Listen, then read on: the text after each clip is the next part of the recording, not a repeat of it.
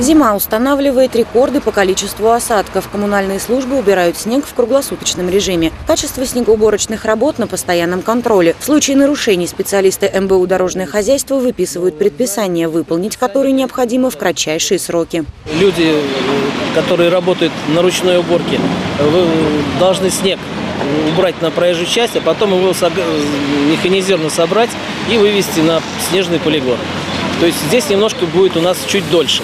А так вообще, когда значит, э, не идет снегопад, проходит трактор, э, подметает тротуар, потом посыпает противогололедными э, реагентами, и как бы тротуар приходит в нормальное состояние. В Самаре работа по уборке снега выстроена таким образом, чтобы управляющие компании координировали работу со службами благоустройства. Такой подход доказал свою эффективность. Больше вывезенного снега за меньшее время. Контролирующая инстанция помогает отслеживать нарушения. Бригаде МП благоустройства, которая отвечает за эту территорию, было рекомендовано навести порядок по всей ширине пешеходной зоны и оперативно вывести на полигоны снег, собранный накануне. Дорожники убедительно просят самарцев помочь процессу, точнее не мешать. ответственные граждане, чтобы машины не бросали и не загораживали проезд техники.